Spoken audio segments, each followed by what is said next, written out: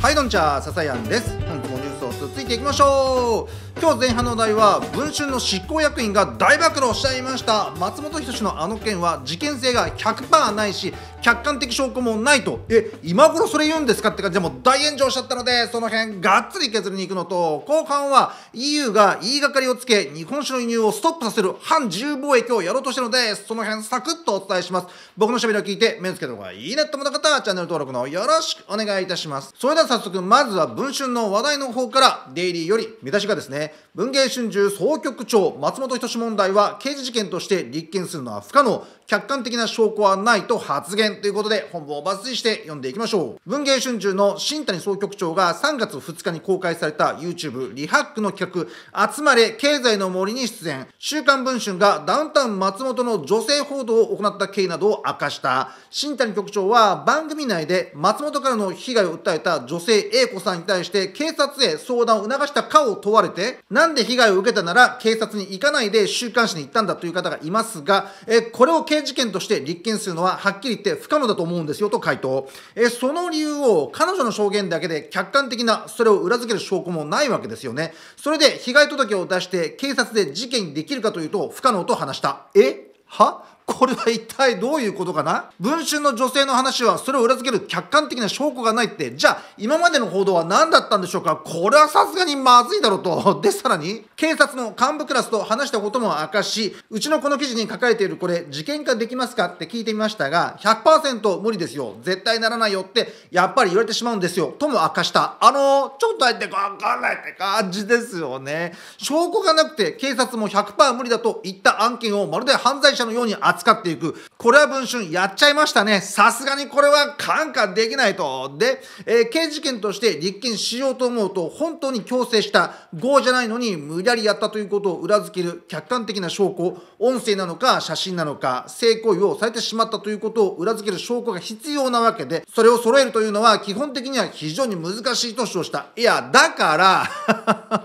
別に写真じゃなくても、あるいは音声じゃなくてもですね、その後の LINE のチャットだとかね、トラブルが推測できるテキストメッセージでも出せばいいのに、あれから次々と証言者が出てきてますが、どれも決定的な証拠は出ていませんよね。そればかりか最近はやられそうになった話ばかり。やったこととですね、やられそうになったら、まあ、全然別物ですからね。松本 VS 文春の裁判の行方、非常に面白くなってきましたと。で、その一方、文春で報じた事情については、警察に事件にすることができなければ、彼女は泣き寝入りしなければいけないのかと言えば、そんなことはないよなと思って、我々は捜査機関でも何でもありませんから、警察と同じような条件が全て揃わなければ記事にならないわけではないのでと、掲載に踏み切った経緯も口にした。おしまい。ということで、内部から崩れる内部崩壊っていうのはこういうことを指すんでしょうね。もう今日は朝からずっとですね、文藝春秋総局長というもうね、ツイッターのトレンドワードがね、ビッカビカに 輝いておりました。まさに火柱が上がるほどの大炎上という例えがしっくりくるほど燃えに燃えておりました。で、僕 YouTube のそのリハックね、先ほどチェックしてみたんですけども、この記事以外にもですね、驚愕の事実が判明しまして、え出演していたですね、この新谷総局長が、あ、その前にですね、え総局長という肩書きを説明させてもらいますと、その名の通りですね、総合局長を意味するもので、文春の編集長にもワンランク上の方でね、さらに新谷氏はですね、株式会社文芸春秋の取締役、執行役員も務めてますので、ポスト的には実質ナンバー2かナンバー3と、まあ、いったところでしょうかね。まあ、それくらいのお偉いさんということです。えー、その新谷総局長が、最初に告発した女性側への調査、ヒアリングはですね、3年間にわたってやってきましたと。でも、ほとんどはですね、記事化手前の1ヶ月程度ということですね。ですので、えー、昨年の11月から12月のですね、まあ、中盤にかけてでしょうかね、まあ、トータルで20時間ほど話を聞いたんだと、女性 A 子さんに対してね。一方で、松本側に対しては、突撃取材で新幹線に押しかけたこと、その後はですね、基本的にはメールだけで、松本人志、あるいは吉本側から何一つ裏取りをやっていません。20時間と0秒ではですね、さすがにどうなんていうふうに思いますし、新谷氏はですね、今までの慣例として、電話してもですね、メールしてもですね、吉本側はほとんど相手にしてくれないので、だから最終的に聞かなかったって、まあそのようなことを言ってんですが、でも芸能人の側からしたらですね、どうせ答えてもね、どうせ文春に答えても、松本はこの件、こんな言い訳をする男です。これがお笑い家のドンなんですよ、みたいなね、え変更報道されちゃいますから、答えていいのかどうかって判断もですね、あるんだろうとは思います。えそれともう一つ、文春は吉本に対してですね27時間以内に返事を求めておりまして逆説的にはですね27時間以内に返事をしないと強制的に記事が出るんだと。いくらなんでもこれは時間なさすぎじゃありませんかねと。松本が英子さんと遊んだのは2015年頃ですからね。じゃあ僕が例えばですね2015年頃どんな熟女とですねどんな会話をしてその後どこで何をしてたかなんてそんなのはっきり覚えてるわけないじゃないですか。日記をつけてればまあ別でしょうけどもそれを27時間以内に思い出して答えると言われたところですね確証がないんですからね。あったかもしれないしなかったかもしれないしっていうそういったくらいの説明しかできませんよ。でもこれをそのまま言葉に出しちゃったらですね話をはぐらかしたってねやられちゃうわけでしょ？あと松本関連でこれはさすがにないだろうというもうね逆文春法が炸裂しちゃいましてですね、えー、松本人志と飲み会に一緒に参加していたと言われている吉本芸人の渡辺センス、えー、この方がですね自身のツイッターでこの間の出来事です。ライブの日に普通に会場に行って終わって帰ってる途中に一緒の会場にいた作家の藤井君から電話がかかってきました。なめさんちょっとやばいことが起こりまして僕仕事が終わって会場の外に出たら男女2人組が急に僕のところに走ってきて「文春です。渡辺センさんですよね」と。えこの前の X の投稿について話を聞きたいんですけどと言われて慌てて「いや僕は渡辺センスじゃないんです。人違いです」って言ったんですが嘘つかないでください。お答えくださいって言われて怖くなって小走りで走ろうとしたら後ろからパシャパシャっと写真を撮られたんですと。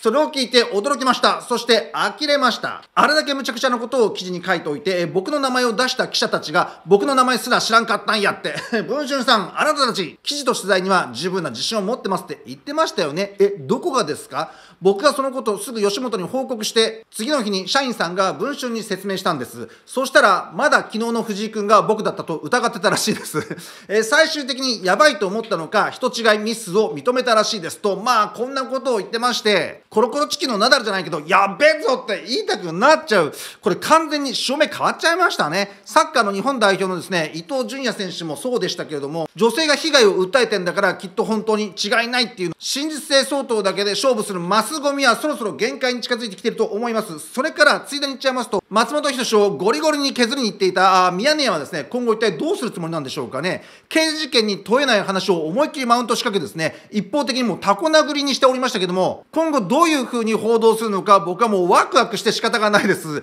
えー、それに最も根本的なことをお話ししますと不倫して隠し子まで作った男は松本人志の既婚者合コンにとやかく言える立場じゃないと思うんですけどもね。男の中でも最低最強のゲス野郎だとね僕なんか思いますがそれをほっぽり投げたままよっ様をとやかく言うのはおやめください。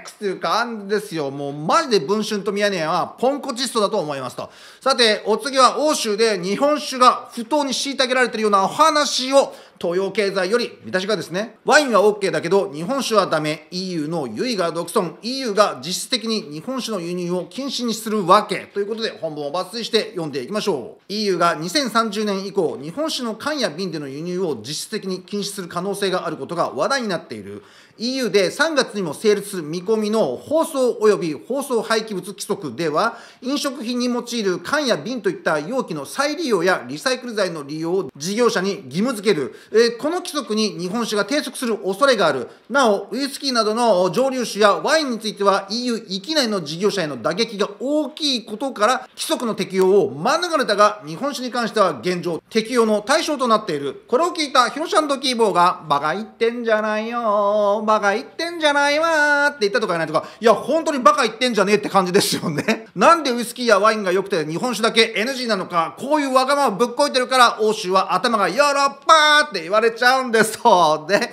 えー、現在日本政府は日本酒に関しても適用の対象を外とするよう EU に働きかけており欧州医の理解を得ることには成功したようであるが他方欧州議会の理解は得られていない。欧州議会の環境会派である欧州緑グループ欧州10連盟を中心とする環境対策推進派は日本酒に反対してるはいはいストップストップです今出てきた欧州緑グループ欧州10連盟という組織を初めて聞く方もいらっしゃるかもしれませんがササヤンのヘビーユーザーさんですね結構馴染み深い存在でございまして、実はですね、この欧州緑グループってやつらはですね、無理な CO2 削減や無理な EV の普及を推進してきた連中ですよ。もはや欧州における環境角丸派といっても結婚的ではないから違った過言ではないでしょう。いや、もうびっくりゴキ丸でございますよと。で、ところが、ブレステル効果という言葉がある EU の規制が EU 域外の国や企業に影響を与えて、域外の国や企業が EU の規制を自主的に遵守する現象を指すものだ。とりわけ EU は環境対策に関して様々な規制を輸出し、その影響力の行使に努めてきた。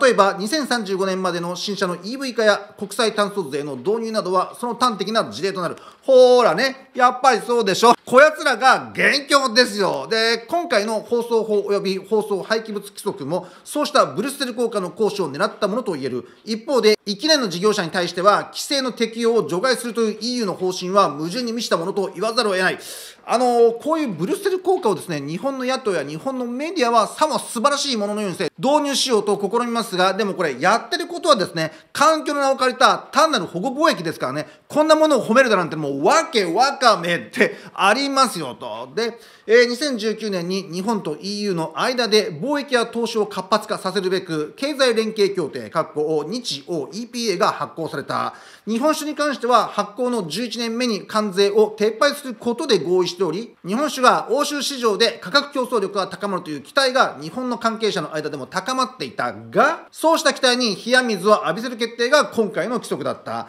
仮に日本酒が適用の除外とならなければ日本の酒造メーカーは2030年以降バルクで輸出した日本酒を現地でボトリングするか紙パックなどのリサイクル材の代替物に詰めて輸出する必要に迫られることになる。えー、やっぱりお酒は瓶でしょ？紙パックじゃ雰囲気は全く出ませんしね、えー、現地で詰め替えっていうのもねそんな面倒くさいことするぐらいだったら EU から撤退するでしょう。中小の酒蔵さんが逃げ出すことは間違いないですと。で EU が日本酒を狙い撃ちすることは互恵貿易の原則から照らし合わせた場合不適当だと言わざるを得ない。リターナブルな形リサイクルできる形でなければ域内での流通を認めないという EU の姿勢は環境対策の名を借りた保護貿易であるという批判も免れないところでもある。他方で EU はワインを日本に無関税で輸出し続ける不公平な状況が出来上がることになる。この辺はどうなんでしょうかね。僕は川上外務大臣について評価していない方の人間ですけどもこういう EU の不公平貿易に対してスコーンと撃退してくれるのであれば評価に値することでしょう。さて彼女に一体何ができるかお手並み拝見といきましょうかと。で、